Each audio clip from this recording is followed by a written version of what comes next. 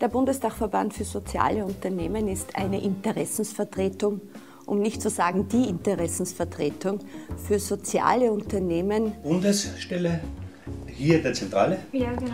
Äh, neun äh, Landesgeschäftsstellen in den Bundesländern, Graz, ja, mhm. ja. Mhm. Äh, und wir haben 100 in den Bezirken 100 regionale Geschäftsstellen. Und das ist das System. Es gibt ja die sogenannte sozialpädagogische Begleitung und Unterstützung für die Personen, was ich auch als ganz wichtigen Beitrag sehe und der eben auch zu einer persönlichen Stabilisierung der Personen beiträgt und ihnen einfach wieder neue Perspektiven eröffnet. Wir können natürlich in einem gewissen Bereich auf Qualifizierung und auf, auf Schulungen äh, setzen, aber genau in dem Bereich, wo eben diese sozialökonomischen Betriebe Arbeitsplätze anbieten, äh, haben, haben wir keine Möglichkeit, äh, äh, äh sonst, äh, sonst irgendwie zu intervenieren. Es geht eben darum, Personen durch Arbeit, durch geregelte Tätigkeit, durch ein Einkommen wieder an den ersten Arbeitsmarkt heranzuführen.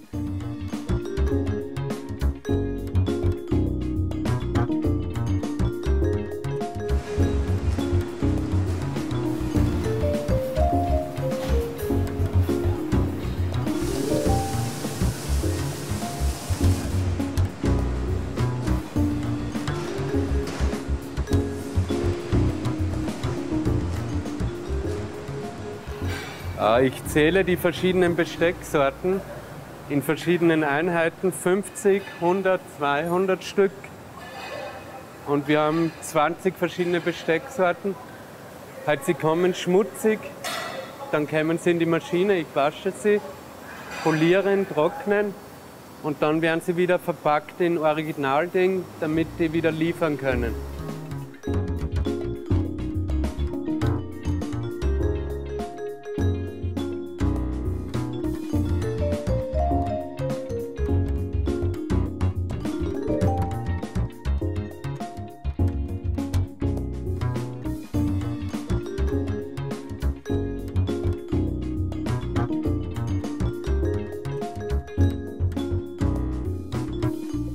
Ecoservice ist äh,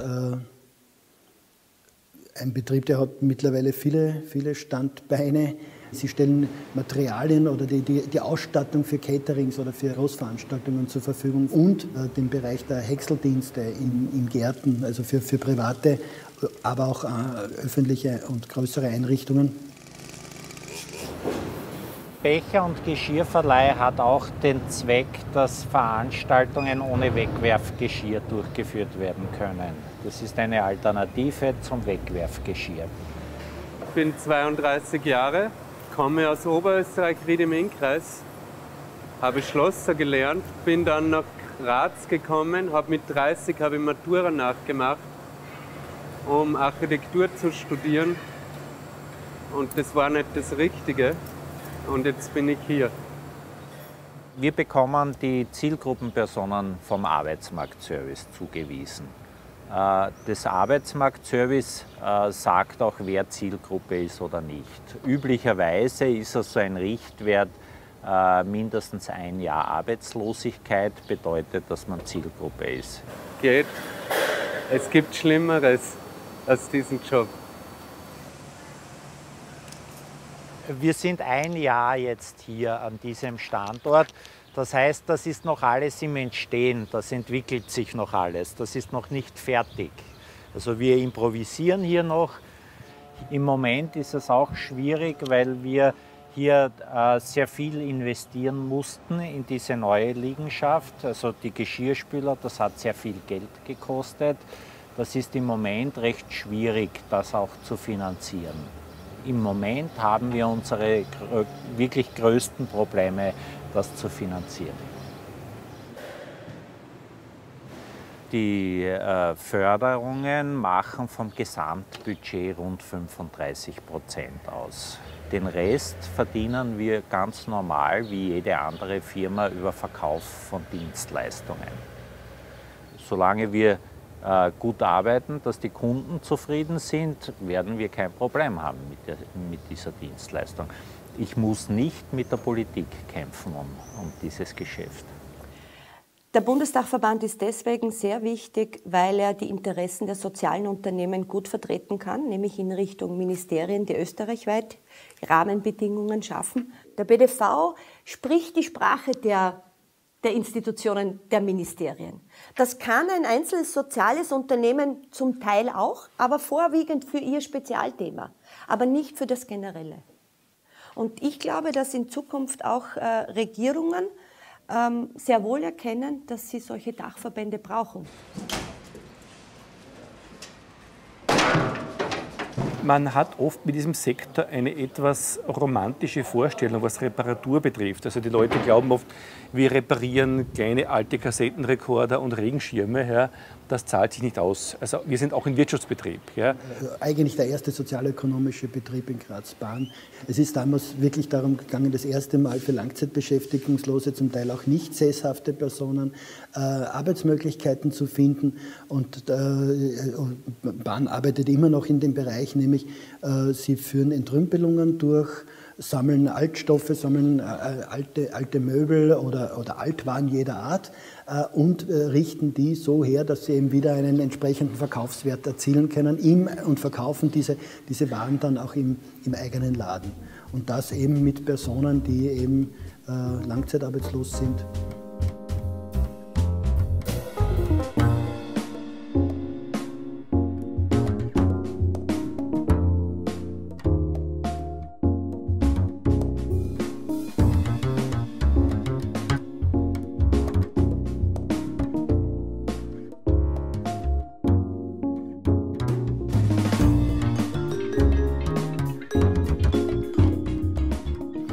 Zwei, zwei Einnahmequellen. Die eine Quelle ist eben der, sind unsere Umsätze in den wirtschaftlichen Bereichen. Ja, also im Bereich Räumungen, Abholungen, Transporte und hauptsächlich im Bereich Verkauf. Und das macht in etwa 60 Prozent unserer Gesamtkosten aus.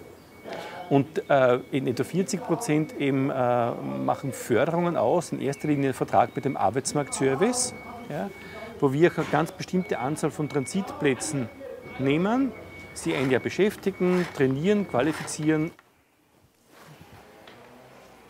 AMS called me to come here with my papers. So when I come, they interview me. They say, okay, then I can come and start the work. So I start the work on 25th June last year, and I will finish it on this month, June 25th. Das Wichtigste ist, dass sie sich einmal wieder in die Arbeit trauen, dass sie es sich zutrauen. Sie sind, die meisten sind eigentlich mindestens ein Jahr arbeitslos vorher, schon lange nicht mehr gearbeitet und das Selbstbewusstsein und das Selbstvertrauen ist nicht mehr sehr groß. Meine Aufgabe ist, so im ersten Monat, wenn Sie hier sind, zu schauen, was für Probleme gibt es im Hintergrund, Schulden, Schwierigkeiten sonst im privaten Umfeld oder vielleicht Wohnungsverlust. Und im besten Fall lösen sich die Schwierigkeiten so auf, dass eine Arbeitsaufnahme möglich ist. Hier zufrieden oder nicht zufrieden, ich muss arbeiten. Ohne Arbeit geht nicht. Zufrieden oder nicht, wurscht. Verstehen Sie mich? Ohne Arbeit keine Brot. Wir bieten einfach Arbeitsplätze für eine Zielgruppe, die sich sonst relativ schwer tut am Arbeitsmarkt. Und wir halten das für sehr, sehr wichtig. Also ich, ich sehe uns durchaus auch als Modell eines modernen Wirtschaftsbetriebes, der das vereinen kann, nämlich Wirtschaftlichkeit, wirtschaftliches Denken, ja, auch unternehmerisches Denken mit sozialer und arbeitsmarktpolitischer Arbeit. Also ich halte auch das zusätzlich ja, für sehr spannend und für sehr gut, weil ich denke, das ist ein Modell auch für Betriebe, wie es sein könnte die Zielgruppenpersonen, die in die Betriebe kommen, einfach auch eine Möglichkeit haben, persönliche Dinge während der Transitzeit zu regeln, auch wenn sie vielleicht danach nicht sofort einen Arbeitsplatz finden. Unser Ziel ist es natürlich schon, diese Personen, die derzeit eben in den sozialökonomischen Betrieben arbeiten, wieder in den regulären Betrieben ohne Förderung dann unterzubringen. Also es wäre sogar wahrscheinlich wunderbar, wenn Personen, vor allem ältere Personen, bis zur Pension bleiben könnten. Aber natürlich, wir haben eine sehr große Zahl von Personen, die Schwierigkeiten haben, wieder am Arbeitsmarkt unterzukommen. Und so müssen wir halt äh, schauen, dass wir durch diese Begrenzung der Transitzeiten, die diese Personen eben in Beschäftigung bleiben, schauen, dass wir so viele wie möglich äh, mit, dieser, mit dieser Förderung äh, versehen können. Die, laut den Bundesrichtlinien kann die Verweildauer, die Dauer in einem Projekt ein Jahr sein. Andere AMS-Landesgeschäftsstellen wie Oberösterreich verlängern derzeit die Verweildauern auch auf, auch auf 24 Monate. Arbeitsmarktservice Wien hat, hat sich entschieden, in den letzten Jahren die Verweildauer zu verkürzen. Es ist so, dass es nicht einfach ist, weil sobald man jetzt einen angelernt hat, also die kommen und dann so zwei, drei Monate, dass sie sich alles mal ansehen, jede Station, Abwasch, kalte Küche, Dessert, Brötchen, Menü oder à la carte. Und dann äh, kristallisiert sich zu, zu, Anfangs heraus, wofür äh, der Kollege oder die Kollegin äh, zu verwenden ist. In dem Sinne, was, was kann, können sie gut. Nur das Problem ist, dass wenn sie das alles können, das geht nicht in drei Monaten, sondern es dauert vier, fünf Monate. Und dann, wenn sie es letztendlich können, sind sie weg und dann kommen die nächsten.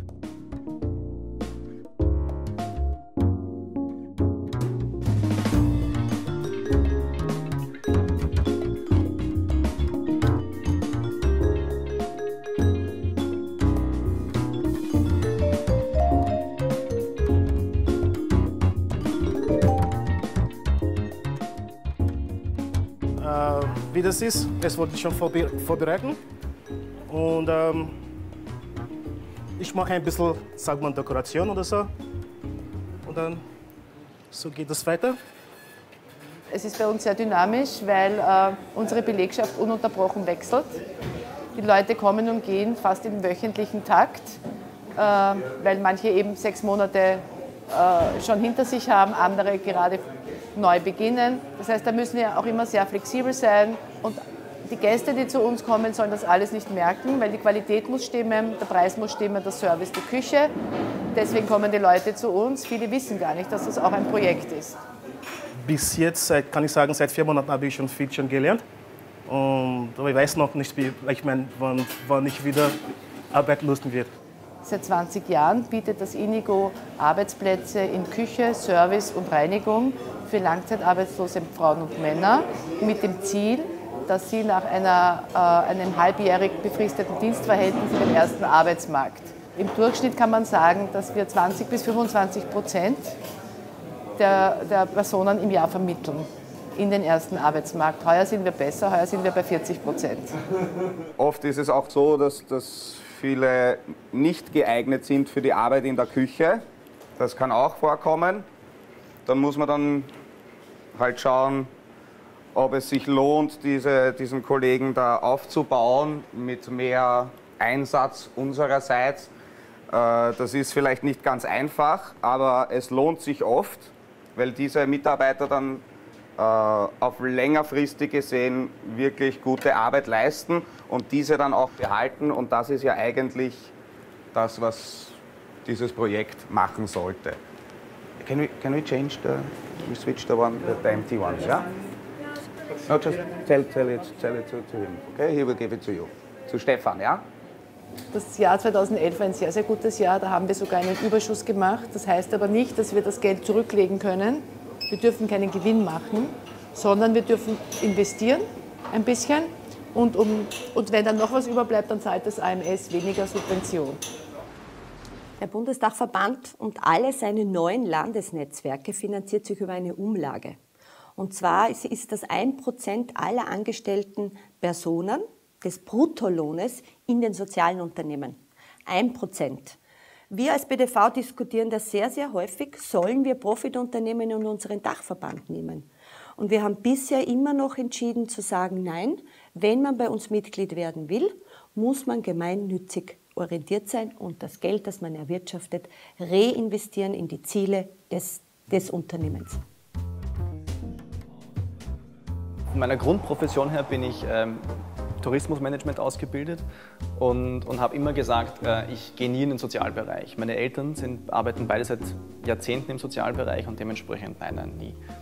Ähm, und bin dann trotzdem über Umwege hier gelandet Und, und ich finde es sehr schön, hier zu arbeiten, weil es einfach noch einmal einen, einen, einen Mehrwert auch hat. Es ist eben nicht nur Arbeit, um, um Geld zu verdienen, sondern man macht auch was Sinnvolles, mehr oder weniger mit seiner Zeit. Das ist schon gut.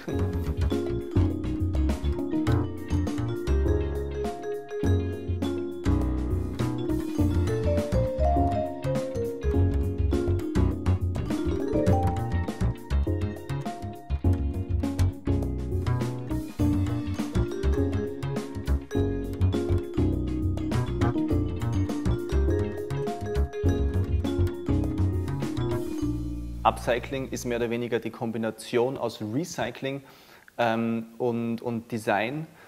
Das heißt, wir, wir verwenden im Endeffekt Altmaterial, Müll im weitesten Sinne und gestalten diesen um zu, zu Alltagsgegenständen. Wir arbeiten dabei mit professionellen Designern und Handwerksprofessionisten in den Werkstätten, ähm, die die Sachen gestalten und nachher auch produzieren, gemeinsam eben mit den sogenannten Transitarbeitskräften.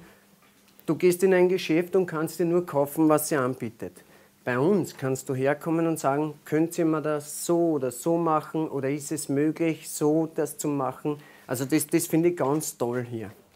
Günther hat im Garage eben vor acht Jahren begonnen, auch als Transitarbeitskraft, ähm, war dann aber so gut in seiner Funktion, dass wir beschlossen haben, äh, ihn zu behalten. Ähm, einerseits, weil er eben in der Anleitungsfunktion auch wirklich gut ist und andererseits, weil wir immer wieder ähm, verlässliche und, und, und stabile Produktionszyklen brauchen. Vom Hirsch, da werden da die Ringe abgeschnitten. Oder eben auch so Ski. Da werden auch Ringe gemacht. Also wir bekommen das Material von den Leuten, die wo halt die sagen, bevor wir es wegschmeißen, braucht ihr das oder braucht es das? Ja? Wir versuchen auch so Synergieeffekte zu, mm, auszunützen. Das heißt, so, wenn wir Sachen selber nicht ähm, in-house produzieren können, ähm, beauftragen wir damit, wenn möglich, andere soziale Unternehmen, um eben im Feld zu bleiben. Die CSR ähm, ist im Prinzip im Kern unseres, unseres Geschäfts. Wir versuchen natürlich schon auch immer ähm, CSR-Partner in der Wirtschaft zu finden, mit denen wir kooperieren können, sei es über die soziale oder über die ökologische Schiene. Ich glaube schon, dass es in, im Prinzip in jeder größeren Stadt eine, eine, eine Nachfrage für, für ein Geschäft wie unseres gibt, weil ich habe in jeder größeren Stadt ein Problem mit ähm, suchtkranken Menschen und ein Abfallproblem. Und wir ähm, greifen eben beide an im Prinzip. Und so würde halt nachher ja, auch der Weihnachtsmann hat kein Gesicht sein. mehr, aber auch kein Durst. Ich glaube schon, dass Günther in seiner Funktion auch ein, eine Art Vorbildwirkung für die Leute hat, weil er eben als ehemaliger Transitmitarbeiter ähm, gut zeigt, dass es wirklich funktioniert, dass dieses Qualifikationsprogramm den Leuten wirklich helfen kann, ähm, ganz normal im, im Regelarbeitsmarkt Fuß zu fassen. Ja. Die Leute brauchen eine Struktur. Sie müssen einmal irgendwo anfangen. Ich, ich, ich, ich nehme es immer so, wie eine Wolle, so ein Wollknäuel. Ja? Da hast du zuerst alles durcheinander dann nimmst du einen Faden ja, und wickelst ihn auf. Und so wie mit einer Wolle. Und die Wolle wird immer, immer größer und größer und so ist es auch mit dem Leben. Ja? Zuerst alles so ding und dann schön und eines nach dem anderen. Ja? Und das können die Leute nicht mehr. Sie schaffen es nicht mehr. Der Gesellschaftsdruck ist schon so stark, ja, dass sie ganz schwer wieder reinkommen. Und es fehlt auch an finanziellen Mitteln. Also in, in Österreich, ich weiß nicht, wie viele Sozialbetriebe es gibt, ja, aber die müssen einmal so klein anfangen.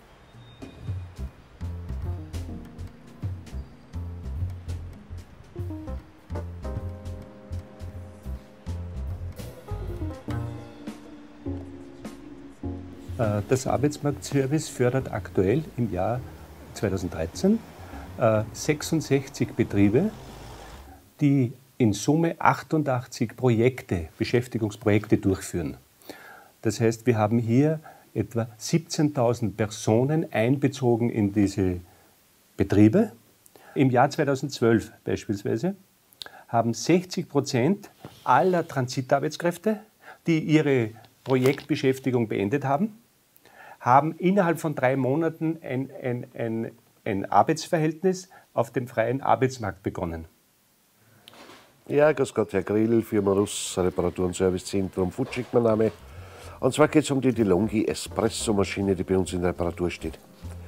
Hat der Techniker festgestellt, dass der Getriebemotor defekt ist. Das heißt, zerlegen, Getriebemotor erneuern. Reparatur ist möglich, Reparaturkosten inklusive Material, Arbeitszeit und Mehrwertsteuer 116,12 Euro, abzüglich Kostenvoranschlag, Endpreis 77,12 Euro.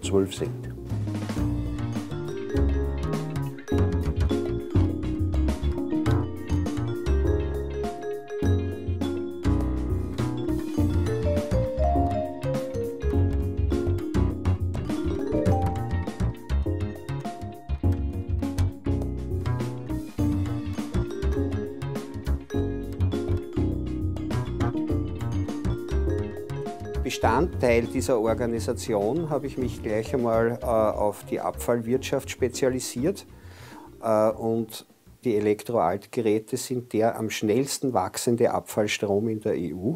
Und weil diese Abfälle auch äh, einen hohen Anteil an gefährlichen Substanzen enthalten, äh, ist es auch ein hochproblematischer Abfall. Die Seite, es funktioniert nicht, diese Teile, ja? weil es ist schon verbrannt. Ja? Und kann man schon reparieren, aber das ist sehr teuer.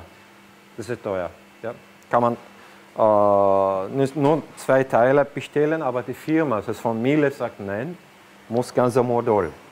Ja? Und das kostet ungefähr 400 Euro, 300, 380, 400 Euro.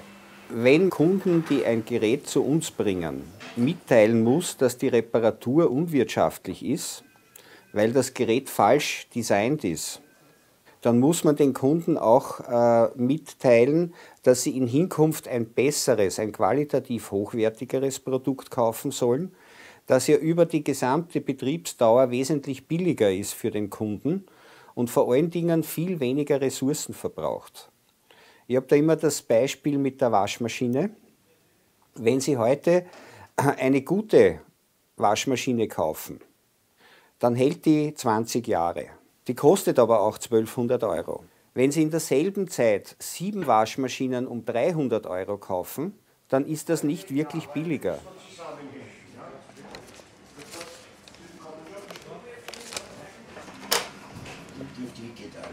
Ohne Arbeit ist eine Zeit lang geht. Aber dann fällt ihm alles am Kopf. Erstens einmal, du hast zu wenig Geld und du kommst kaum mehr aus und dann irgendwie, wie soll ich das sagen, das ist, du, du verfallst in einen Trott und da passt nichts mehr, du hast da keine Aufgabe mehr und auch kein Ziel nicht und, und Erfolge oder Misserfolge, du hast nichts mehr. Ne? Dann wirst du verzagt und denkst, ach, das funktioniert sowieso nicht mehr. mehr ne? Aber wie gesagt, am Zufall, am tiefsten Punkt, hat sich das dann alles von alleine eigentlich irgendwie geregelt. Es gibt Überlegungen äh, zu einem qualitativen Wachstum. Es muss ja nicht immer quantitatives Wachstum sein, womit immer mehr Ressourcen verbraucht. Und es gibt natürlich auch das, was ich schon seit 15 Jahren versuche. Äh, es gibt den Versuch, mehr und mehr an wirtschaftlichen Aktivitäten umzulagern von der profitorientierten Wirtschaft in die Sozialwirtschaft. Soziale Innovation ist genauso wichtig wie technische Innovation. Das ist auch etwas, wofür soziale Unternehmen stehen. Und Regierungen brauchen uns eigentlich als soziale Unternehmen, um zu verstehen, wie Wirtschaft funktioniert. Sie haben die Sozialpartner. Wir haben in Österreich ja sehr starke Sozialpartnerorganisationen. Einerseits die, die, also die Arbeiterinnen und Angestellten vertreten und die anderen, die die Dienstgeber vertreten. Und wir als soziale Unternehmen, als BDV, vertreten beide Interessen. Wir versuchen, die miteinander zu verquicken. Und das ist sicherlich die Zukunft.